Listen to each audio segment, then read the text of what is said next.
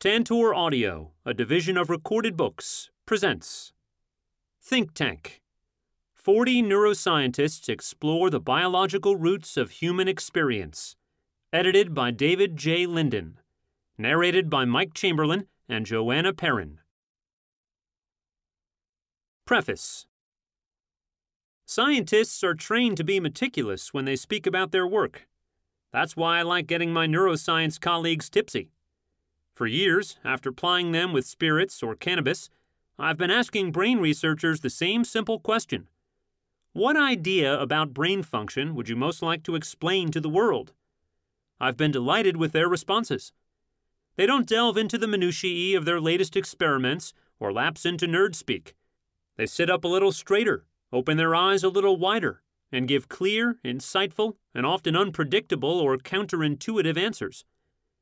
This book is the result of those conversations.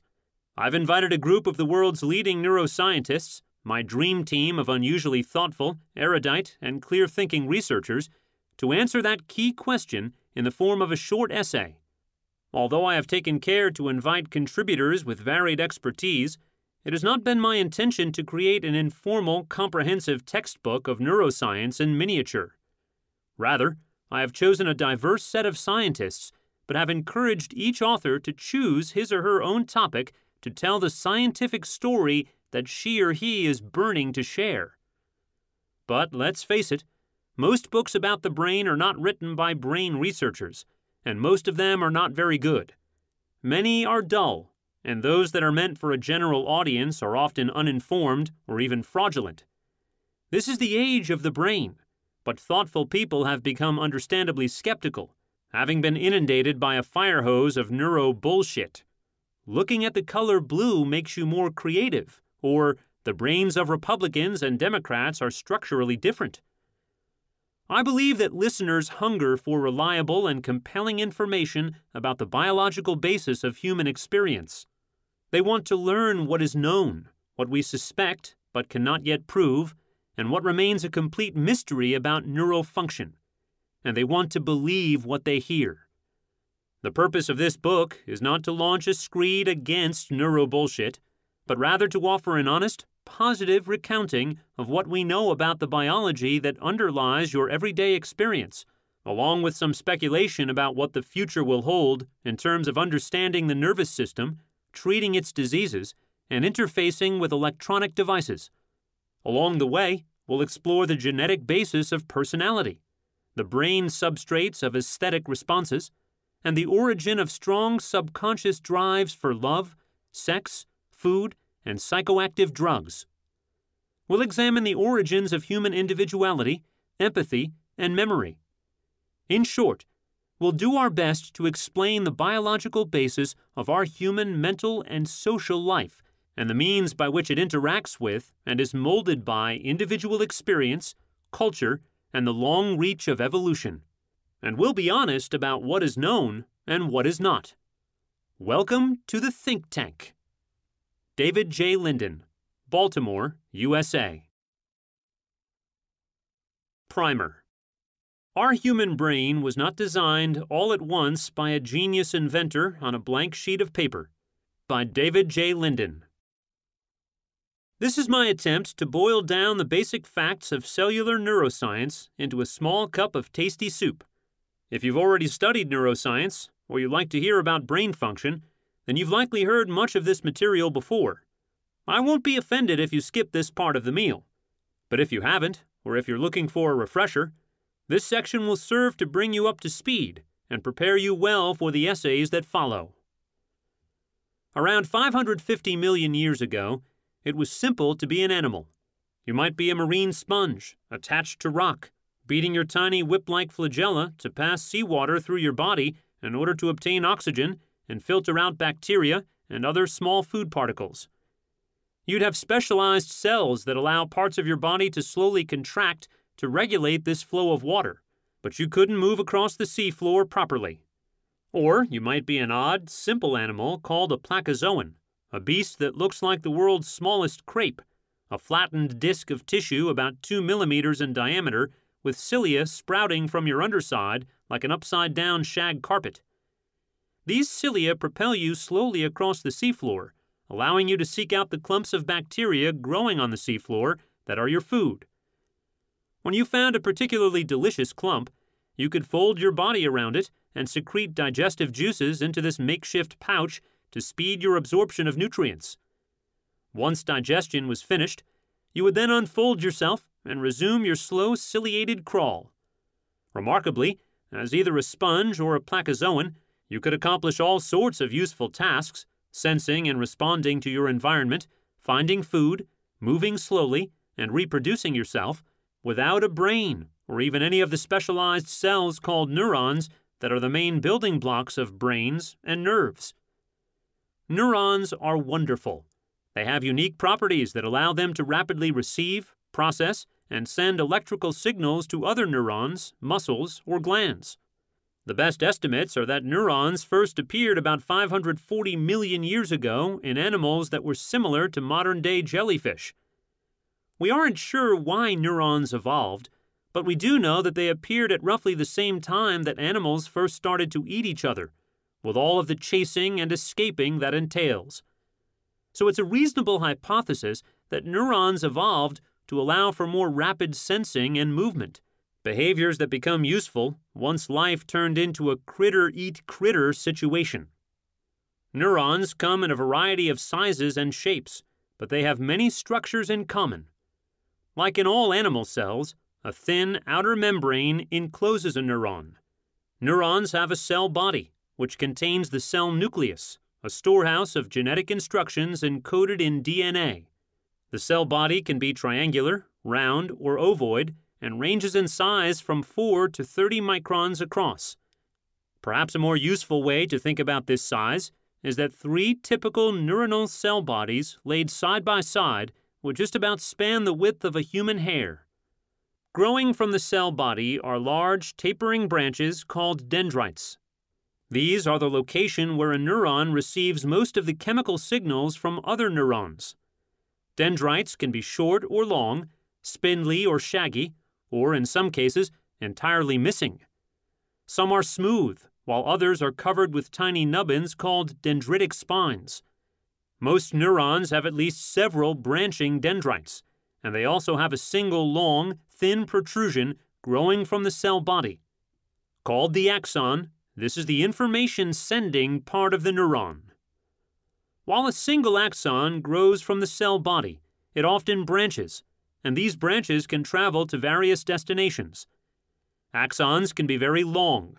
For example, some run all the way from a person's toes to the top of the spinal column. Information is sent from the axon of one neuron to the dendrite of the next at specialized connections called synapses. At synapses, the tips of axons of one neuron come very close to, but do not actually touch, the next neuron. The axon terminals contain many tiny balls made of membrane. Each of these balls, called synaptic vesicles, is loaded with about 1,000 molecules of a special type of chemical called a neurotransmitter. There is a very narrow, salt water filled gap between the axon terminal of one neuron and the dendrite of the next, called the synaptic cleft. On average, each neuron receives about 5,000 synapses, mostly on the dendrites, with some on the cell body and a few on the axon. When we multiply 5,000 synapses per neuron by 100 billion neurons per human brain, the result is an enormous number as an estimate of the number of synapses in the brain 500 trillion. To put this number in perspective, if you wanted to give away your synapses, each person on the planet in 2017 could receive about 64,000 of them. Synapses are the switching points between two forms of rapid signaling in the brain electrical impulses and the release and subsequent action of neurotransmitters. The basic unit of electrical signaling in the brain is a rapid blip called a spike. Spikes are brief, large electrical events, about a millisecond or two in duration. They originate where the cell body and the axon join, at a spot called the axon hillock. The brain is bathed in a special saltwater solution called cerebrospinal fluid, which contains a high concentration of sodium and a much lower concentration of potassium. These sodium and potassium atoms are in their charged state, called ions, in which they each have one unit of positive charge. There is a gradient of sodium ion concentration across the outer membranes of neurons. The concentration of sodium ions outside a neuron is about 15 fold higher than it is inside. The gradient for potassium runs in the other direction. The concentration of potassium ions is only about 50 fold higher inside than outside. This situation is crucial for the electrical function of the brain. It creates potential energy, similar to winding the spring on a child's toy, and the energy can then be released in the appropriate circumstances to create electrical signals in neurons. Neurons rest with an electrical potential across their outer membranes. There is more negative charge inside than out. When a spike is triggered, specialized donut shaped proteins embedded in the outer membrane, called sodium channels, open their previously closed donut hole to let sodium ions rush in. A millisecond or so later, a different kind of ion channel, one that passes potassium ions, opens up, allowing potassium to rush out, thereby rapidly terminating the spike. Spikes travel down the axon to the axon terminals, and when they arrive there, they trigger a series of chemical reactions. These chemical reactions cause synaptic vesicles to fuse with the outer membrane of the axon terminal, releasing their contents, including neurotransmitter molecules, into the synaptic cleft. The released neurotransmitter molecules then diffuse across the narrow synaptic cleft to bind neurotransmitter receptors, which are embedded in the outer membrane of the next neuron in the signaling chain. One form of neurotransmitter receptor, called an ionotropic receptor, is like a closed donut that only opens its hole when it is bound by neurotransmitters. If the ion channel in that receptor allows positive ions to flow in, then this excites the receiving neuron. Conversely, if the ion channel opened by the neurotransmitter allows positive ions to flow out of the neuron, or negative ions like chloride to flow in, this will inhibit spike firing in the receiving neuron. Electrical signals from activated receptors at synapses all over the dendrite and cell body flow toward the axon hillock. If enough excitatory electrical signals from the synapses arrive together and they are not negated by simultaneous inhibitory signals, then a new spike will be triggered there, and the signal will be passed down the axon of the receiving neuron. Most of the psychoactive drugs that we consume, both therapeutic and recreational, act at synapses. For example, sedatives like Xanax and related compounds work by enhancing inhibitory synapses, and in this way reducing the overall rate of spike firing in certain regions of the brain. Electrical signaling in the brain is fast by biological standards, in the range of milliseconds but this signaling is still about a millionfold slower than the electrical signals coursing through the circuits of your laptop computer or smartphone. It is important that not all signaling at synapses is fast. In addition to the ionotropic neurotransmitter receptors that work on the timescales of milliseconds, there is a much slower group called metabotropic receptors. These receptors do not have an ion channel pore as part of their structure, but rather trigger or block chemical reactions in the receiving neuron and act on a time scale of seconds to minutes. The fast ionotropic receptors are useful for rapid signals like those that convey visual information from your retina to your brain or carry commands from your brain to your muscles to undertake a voluntary movement. By contrast, the slow metabotropic receptors, which respond to neurotransmitters including serotonin and dopamine, are more often involved in determining your overall state of mind, like your alertness, mood, or level of sexual arousal. A single neuron is almost useless, but groups of interconnected neurons can perform important tasks.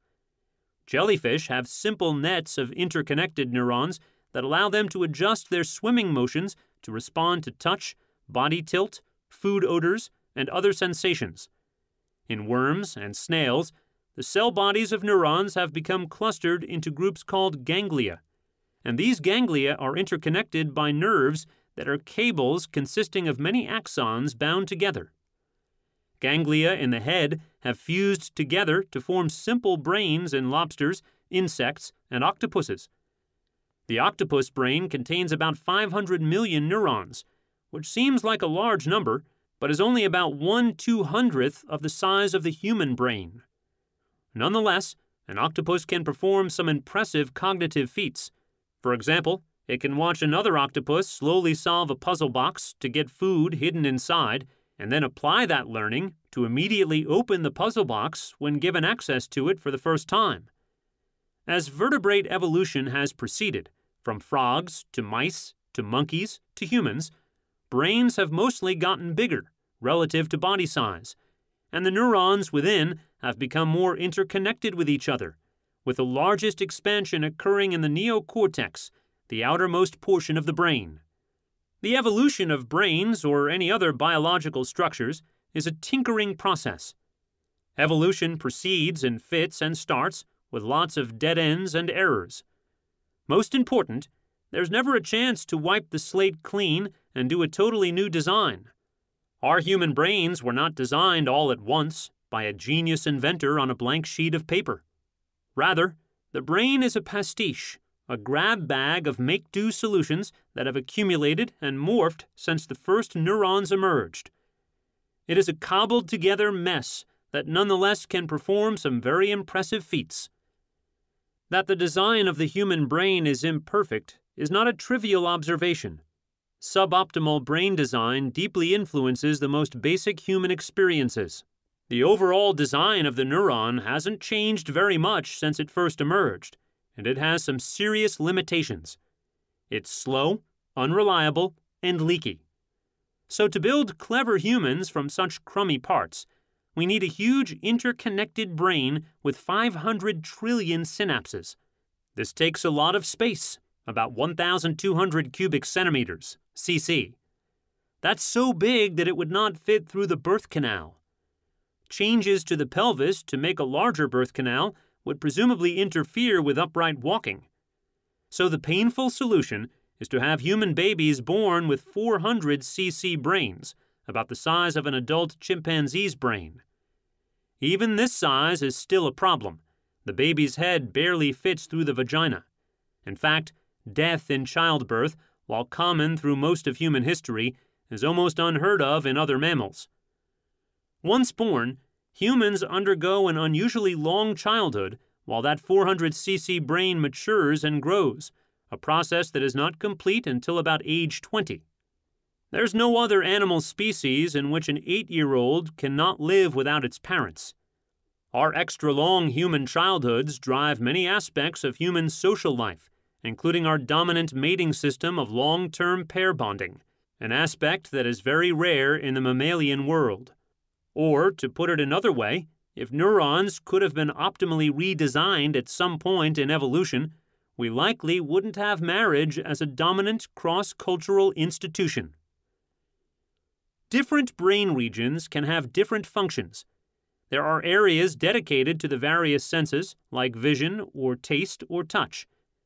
When sensory information arrives in the brain, it is often represented as a map. That is, the visual areas of the brain have a map of one's field of view, and the regions of the brain that process touch signals have a map of the body surface. The brain also has many regions that are not dedicated to a single task like vision. Rather, they blend information from multiple senses together, make decisions, and plan actions.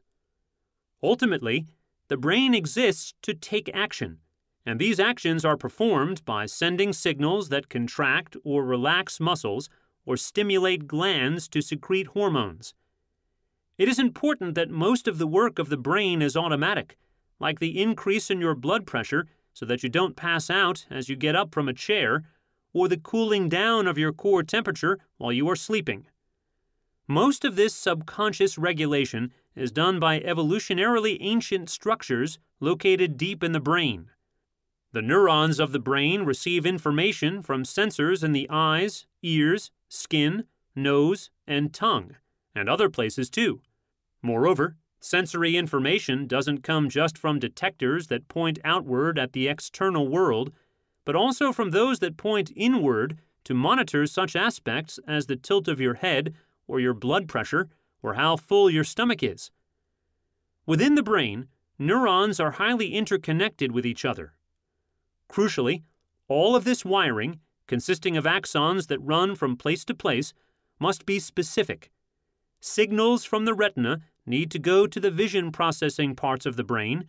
Commands from the motion producing parts of the brain must ultimately make their way to muscles, etc.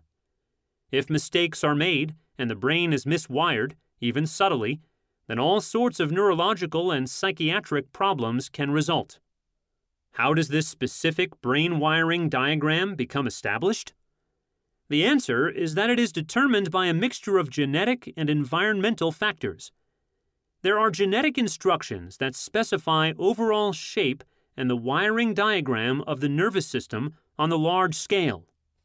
But in most locations, the fine scale neural wiring must be refined by local interactions and experience. For example, if a baby is born but its eyes remain closed in early life, then the visual parts of its brain will not develop properly, and it will not be able to see, even if the eyes are opened in adulthood. When the brain is developing, in utero and through early life, about twice as many neurons are created than are ultimately used, and many synapses are formed and later destroyed. Furthermore, those synapses that are formed and retained can be made weaker or stronger as a result of experience. This process, by which experience helps to form the brain, is called neural plasticity. It is important in development, but it is also retained in an altered form in adulthood. Throughout life, experience, including social experience, fine tunes the structure and function of the nervous system, thereby creating memories and helping to form us as individuals. Science is an ongoing process, not a belief system. By William B. Kristan, Jr. and Kathleen A. French. One of the most difficult ideas to explain to the general public is what it means to believe in a scientific concept. In part, this difficulty arises because the word believe can have different meanings. In our daily lives, we use believe in many contexts. I believe it will rain soon. I believe my child when he or she says that he or she doesn't use recreational drugs. I believe that the defendant is guilty. I believe that the cerebral cortex is the site of consciousness. I believe that A will make a better president than B. I believe in gravity. I believe in God. In some of these examples, I believe means I am certain of, whereas in other examples, it means something like I hold an opinion or I suppose, as in the speculation about the possibility of rain. In all cases, the believer may well take action based upon the belief and the action might be as trivial as grabbing an umbrella before heading outdoors, or as far reaching as basing one's life on religious teachings. Where does belief in a scientific concept fit into this spectrum? This question is difficult to answer because there are different stages in the development of scientific concepts, with widely different criteria for judging them. These stages arise because science uses a guess, test, interpret strategy and this sequence is typically repeated many times. In fact, in everyday life, we all act like scientists, at least sometimes. Consider a real life example. You sit down in your favorite chair to read the newspaper and flip on the switch for your reading lamp, but the lamp fails to light. Maybe someone unplugged the cord. Guess one. You look at the wall, but the cord remains plugged into its socket. Test one so that's not the problem. Interpretation 1. Maybe the circuit breaker was opened. A reasonable guess 2. But the TV, which is on the same circuit, is working. Test 2. So it's not a circuit breaker problem. Interpretation 2. Perhaps the problem is in the wall socket. Guess 3. So you plug another lamp into it, and that one works just fine. Test 3. So the wall socket is functioning properly. Interpretation 3. You work your way through successive guesses, bulb, broken cord, and tests to arrive at an interpretation, bad lamp switch, that ultimately enables you to fix the lamp. Previous experiences with circuit breakers, wall sockets, and lamps, and a rough understanding of electrical currents informed your guesses. In its basic logic, doing science isn't so different from fixing your lamp, except that each step may be more complex. One approach, which started with Aristotle, is inductive. You gather all the facts you can about a specific topic, think hard, and then insightfully conclude, induce, the general relationship that explains the facts. This approach is common, and it has produced explanations both sacred, for example, creation stories, and mundane, for example, trying to decide why your car won't start. As experimental science blossomed in the past century or two, however, the value of this inductive technique has transformed from being the source of an ultimate explanation to formulating a guess. Scientists like the term hypothesis, philosophers seem to prefer conjecture, but both are essentially synonyms for guess. So, has guessing become a trivial and unimportant part of doing science? Far from it. Good guesses require both a lot of background knowledge and great creativity.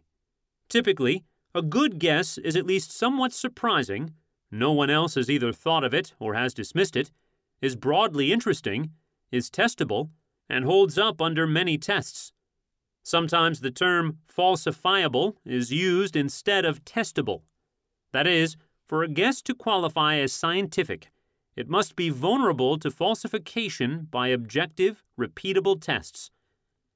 The kinds of tests required to evaluate a hypothesis, that is, to accept or reject the guess, are stringent.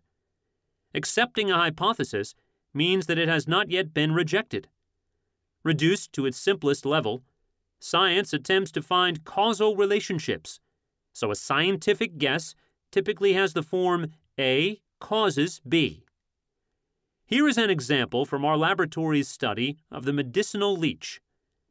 We guessed that some neurons in the leech nervous system activated its swimming behavior.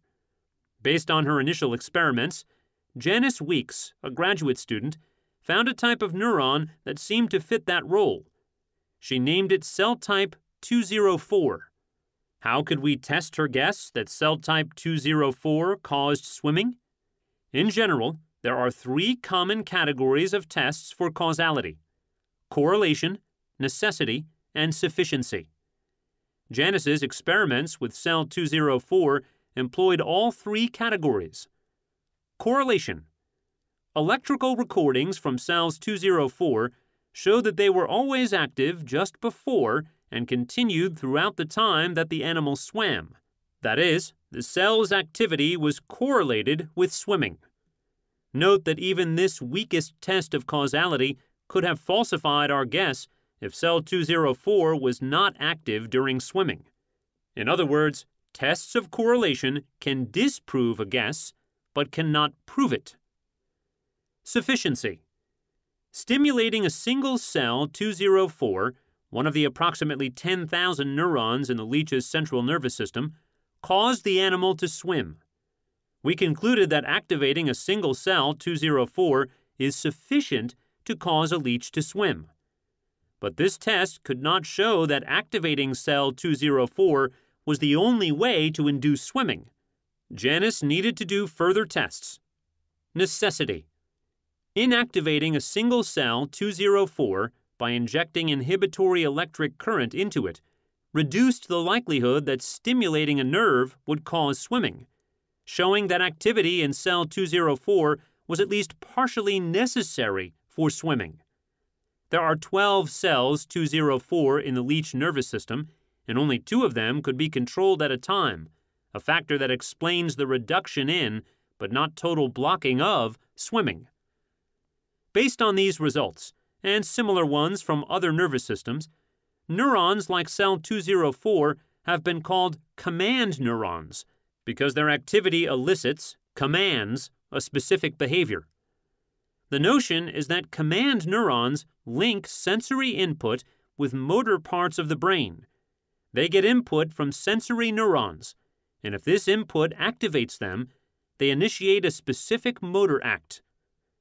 Such neurons have also been called decision makers, an implicit guess that their true function is to make a choice between one behavior, swimming, and other behaviors, for example, crawling. The basic experiments on cells 204 were performed nearly 40 years ago, so we can ask the following Do we still believe the original guess, test, interpretation story? The answer is yes and no. The basic data have stood the test of time, and many repetitions, but further experiments have uncovered additional neurons that produce results similar to those of cells 204. So our initial conclusion that cells 204 were uniquely responsible for swimming was too simple. In further experiments using dyes that glow to report electrical activity, which allowed us to monitor the activity of many neurons at once, it became clear that subtle interactions among many other neurons acting together decide whether a leech swims or crawls. Cells 204, along with the additional command neurons, carried out the motor behavior once these subtle interactions ended. So cell 204 is not a commander in chief, but something more like a lieutenant who puts into action the commands issued by the Joint Chiefs, who actually make the decision. Remembering the experiments on cell 204, we return to the meaning of belief in science. Minimally, this question needs to be broken into at least three different levels. 1. Can the guess be falsified? If there is no way to falsify a guess by using objective, real world tests, it can be interesting, but it falls outside the realm of science. 2. Do we trust the validity of the data? To answer this question, we must consider whether the techniques used were appropriate, whether the experiments were done with care, and whether the results are convincing. For instance, in a typical experiment intended to elucidate the function of a region of the brain, the function of that area will be experimentally modified, and experimenters will look for a change in behavior and or brain activity. In looking for change, the experimenter applies a stimulus and scores the response. Often the data are messy. Maybe when the same stimulus is repeated, it elicits a variety of responses, or two different stimuli may elicit the same response. A number of issues can cause such a result, and there are established ways to identify and solve these problems. For example, the person who evaluates the results is prevented from knowing the details of the treatment. It is called blinding the experimenter. Alternatively, the experiment may be repeated in a different laboratory, so the equipment, people, and culture of the laboratory are different. 3. Do we believe the interpretations? In general, an interpretation is the most interesting part of any scientific study, and it is the part most likely to be carried in the popular press, but it is also the most subject to change. As shown by the findings about cell 204 in the leech nervous system, new data can change the interpretation considerably, and that process is continuous. Karl Popper, an influential 20th century philosopher of science, argued that science cannot ever hope to arrive at ultimate truth. A well founded current estimate of truth can explain all, or at least most, of the current observations but additional observations will eventually call into question every interpretation, replacing it with a more comprehensive one. He argues that this process does not negate the old interpretation, but rather the new data provide a closer approximation to ultimate truth. In fact, the interpretations of one set of data generate the guesses for the next set of experiments, just as you found in repairing your faulty reading lamp. So, how does scientific belief differ from other sorts of belief? One major difference is that science, at least experimental science, is limited only to ideas that can be tested objectively, reproducibly, and definitively. If others do exactly the same experiments, they will get the same results. This qualification eliminates from scientific inquiry a large number of deeply interesting questions, such as Why am I here? and Is there a supreme being? These qualifications even eliminate whole disciplines, such as astrology, that act like science in that they gather huge amounts of data, but whose conclusions cannot be objectively tested. Scientific papers usually separate results from the discussion. Belief in the results requires judging whether the experiments were done properly and whether other scientists can reproduce the findings. Such judgments are relatively objective. Believing what is said in the discussion section is more nuanced. Do the data support the interpretation? Are the conclusions reasonable based upon the results in this and previous papers? Does the interpretation point to further testable guesses? The discussion, although often the most interesting part of any scientific paper, is also the part that is least likely to stand the test of time. To someone outside the field of study, the changes in interpretations can be confusing and frustrating. For example, is fat in my diet good or bad for me? But these successive approximations are inherent in the process. The interpretations are where the poetry lies where creativity is most obvious in science. The fact that interpretations change, however, means that all statements of belief carry an inherent asterisk. What a scientist believes today can change greatly with the next set of experiments that he or she does, or, less happily, that another scientist does. Scientists must be able to let go of their fondest beliefs and adopt new points of view when data require it and non scientists need to understand the dynamic nature of these beliefs. Developing, changing. Genetics provides a window on human individuality by Jeremy Nathans. Anyone who has spent time in a room full of four year olds has seen the evidence. Even at a young age, we humans show striking personality differences. Some children are outgoing, others are shy. Some children are focused, others jump from one activity to another. Some children are strong willed, others less so. Personality traits largely define who we are as adults pessimistic or optimistic, sociable or solitary, authoritarian or free spirited, empathetic or suspicious. Aggregated over thousands or millions of people, such traits define the characteristics of our societies. What determines personality? To what extent is it innate? To what extent is it molded by experience? At their core, these are questions about brain development, function, and plasticity, and they are some of the deepest questions that we can ask of brain science. More than 100 years ago, the British polymath Francis Galton posed these questions in essentially their modern form. Galton conceptualized the forces that mold personality, intelligence, and other mental characteristics as a reflection of the combined contributions of nature and nurture. Over the past century, research in animal behavior, psychology, and genetics has begun to converge and to focus this inquiry.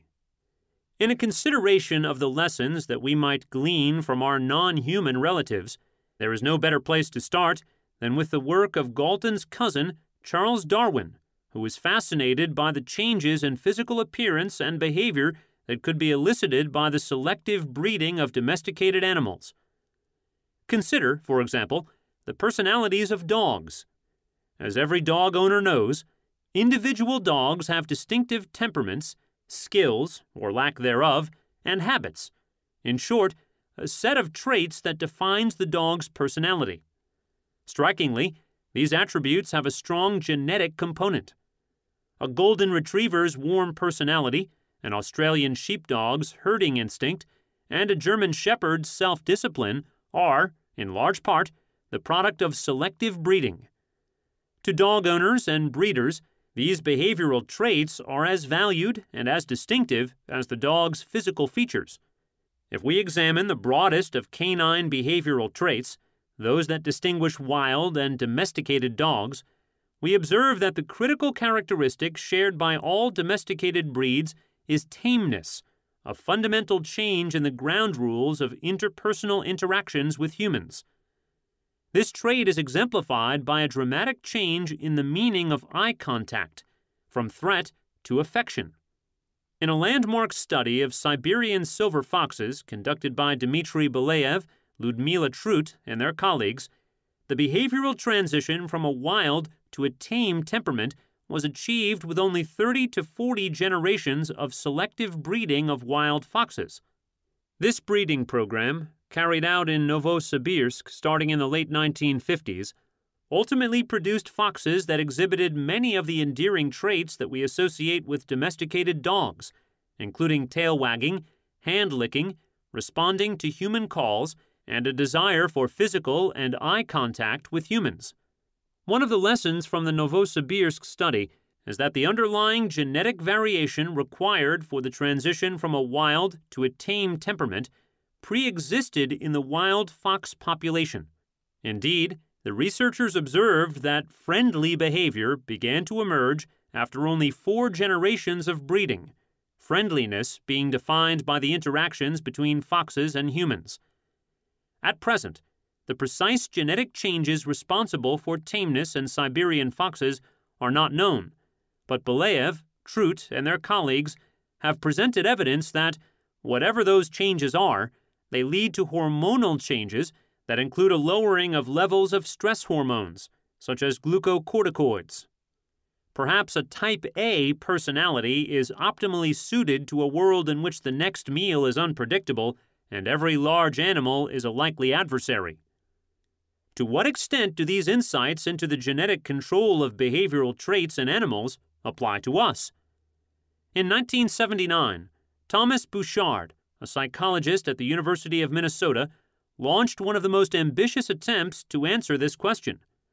Over the next 20 years, Bouchard and his colleagues searched for those rare twins who had been adopted into different households and raised separately to determine the extent to which their psychological similarities and differences reflected shared genetics or different environments. The Minnesota study of twins reared apart, MISTRA, compared identical twins and fraternal twins and, in collaboration with Bouchard's University of Minnesota colleague David Lykken, it also compared twins reared apart with twins reared together. Identical twins, also called monozygous twins, arise from a single fertilized egg that, early in development, divides to form two embryos. The two individuals inherit the same version of each gene from their parents, and are, therefore, genetically identical. Since identical twin embryos also inherit the same arrangement of X and Y chromosomes, they are also the same sex. That is, identical twin pairs can consist of two boys or two girls, but never a boy and a girl. Approximately one out of every 270 humans is a member of an identical twin pair. In contrast, fraternal twins, also called dizygous twins, arise when two eggs are released during the same ovulatory cycle, are independently fertilized by two sperm, and then develop into two embryos. The two individuals are only as similar to each other as are any other pair of siblings. The distinguishing feature of fraternal twin siblings, as compared to other siblings, is that these siblings share the same uterus and are the same age. Geneticists loosely say, or write, that fraternal twins share, on average, 50% of their genes. Similarly, since fraternal twin embryos have independently inherited their X and Y chromosomes, they are as likely to be the same sex, boy plus boy or girl plus girl, as opposite sex, boy plus girl or girl plus boy. Approximately one out of every 115 humans is a member of a fraternal twin pair. The simplest twin study design is one in which the values for some quantifiable trait, for example, height, weight, or blood pressure, are determined for both members of a large number of fraternal and identical twin pairs. The differences in these values are calculated for each pair, and the results are compared between fraternal and identical groups.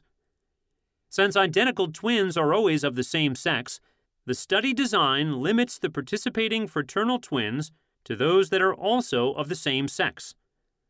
One study of this type has shown, for example, that the average height difference between fraternal twins is approximately 4.5 centimeters, whereas the average difference between identical twins is approximately 1.7 centimeters.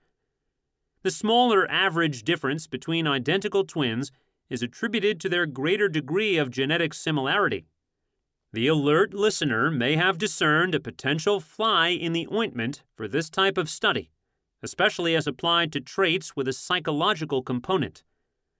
Identical twins often look so similar that they are confused with one another, an occasional source of amusement.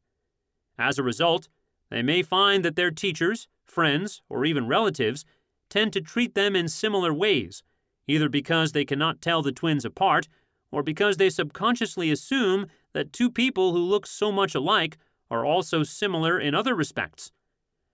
A similarity in interpersonal interactions of this type creates what behavioral geneticists call a shared environment, and it can confound the analysis of nature versus nurture.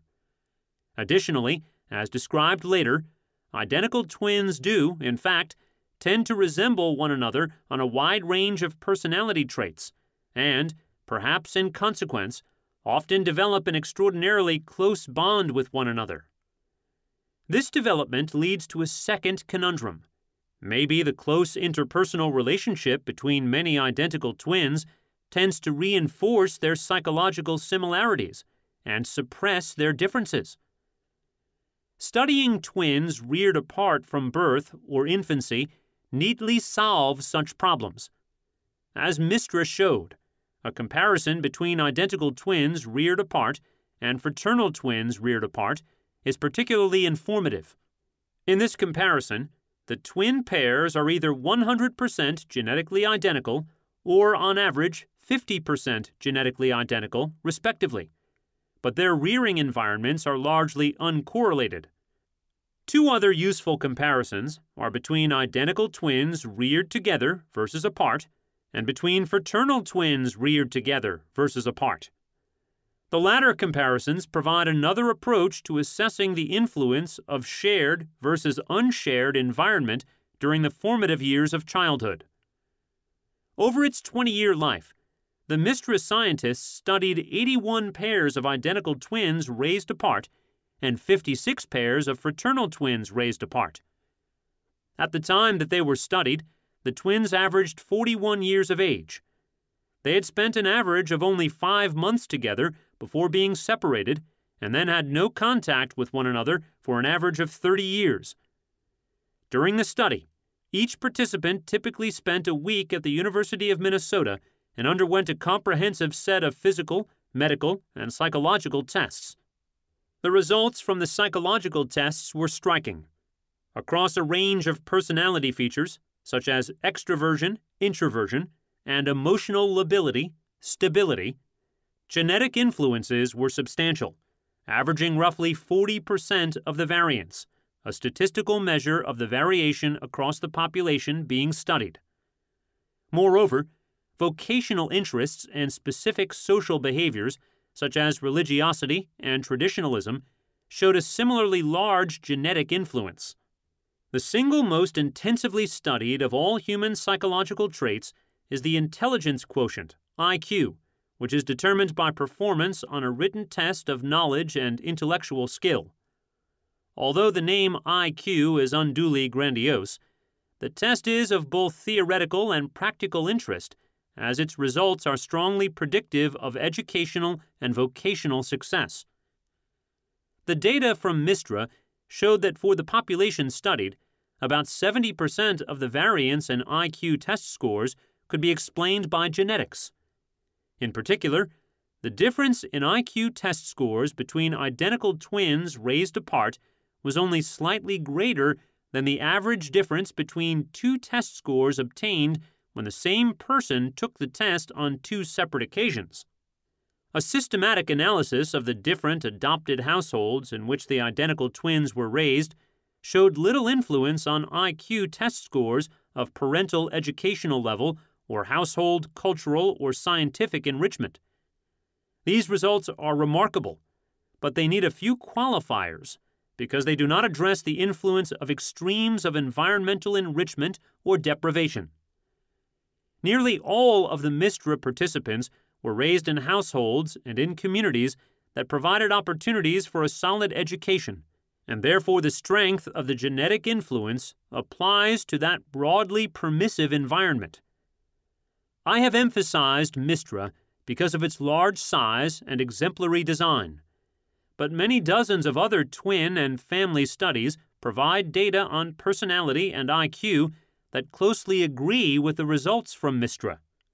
An especially intriguing comparison of 110 identical twin pairs and 130 fraternal twin pairs, who were all over 80 years old, found a higher degree of similarity for identical twins compared to fraternal twins on every measure tested, including general cognitive ability, IQ, memory, verbal ability, spatial ability, and processing speed.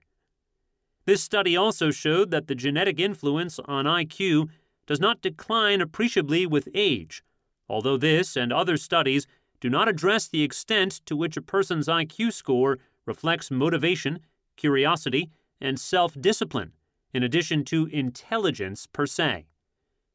Twin studies can measure the average contribution of genetics to individual variation in personality and cognitive ability but they cannot reveal the biological mechanisms responsible for this variation. We can think of twin studies as providing us with data that are analogous to the performance characteristics of different types of automobiles. We may learn that a Porsche accelerates more rapidly than a Toyota, but to understand the cause of that difference, we will need to know in detail how these two automobiles differ. We will also need to know a lot about how automobiles work in general. In biology, looking under the hood means understanding how cells grow, become specialized, interact, and carry out their particular functions. It also means understanding how the genetic blueprint that each of us inherits codes for the proteins that comprise the molecular machines that underpin all cellular structure and function. This is a tall order, and we are still far from having a fully satisfactory understanding of these processes. However, progress over the past 50 years has been impressive. The fundamental mechanisms underlying communication between nerve cells are now known, as are many of the mechanisms responsible for assembling connections between nerve cells during development. Progress in genetics has been especially rapid. We now have the complete DNA sequence of our species and many dozens of other species, and partial DNA sequences have been determined from hundreds of thousands of individual humans. These sequences show that our genetic blueprint is remarkably similar to the genetic blueprints of other mammals. Thus, the large physical and mental differences among different mammalian species likely arise from the sum of many relatively subtle differences in gene structure and function. Additionally, a comparison of the DNA blueprints from different humans shows that we differ genetically from one another, on average, by only one part in 1,000. Determining how these genetic differences contribute to making each of us who we are is one of mankind's greatest scientific challenges. Though the brain has billions of neurons, wiring it all up may depend upon very simple rules. By Alex L. Kolodkin. The immense complexity of neural connections begs the following question What labels or cues could possibly provide a code that instructs their precise organization?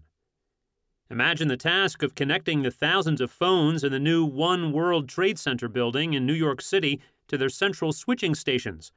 Color coded wires, numbered phone jacks, and lots of unique labels are the only hope to get it right. But to use this unique label strategy to wire up the human brain, one would need trillions of specific molecular cues. Is such a wiring code even possible? Over 100 years of neuroscience research has yielded only a few hundred molecules that are known to selectively direct the formation of connections among neurons. But even if all the genes in the human genome produced only wiring cues, that would result in approximately 20,000 unique cues, far fewer than necessary to uniquely code for all the connections in the human brain. Recent work in the insect visual system shows that extremely complex neuronal connections among a very large number of neurons can be instructed by very simple rules.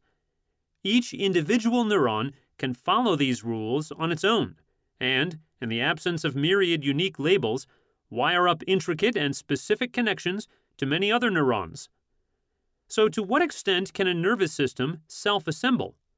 The answer is, surprisingly, quite a bit. Some of the greatest contributions to our understanding of both the complexity and logic of neural connections were made early in the last century by the Spanish neuroanatomist Santiago Ramon y Cajal. Using microscopes, primitive by today's standards, and a staining technique that allowed for only a very small fraction of neurons to be labeled in their entirety in a sea of unlabeled neurons, Ramon y Cajal sailed uncharted anatomical waters, characterizing distinct neuronal classes based on their morphology and the architecture of their connections with other neurons. He appreciated the complex and beautiful shapes neurons adopt, and his illustrations are exquisite. Ramon y Cajal surmised that the axons extending from a neuron's cell body, often for very long distances. We hope you enjoyed this preview. To continue listening to this audiobook on Google Play Books, use the link in the video description.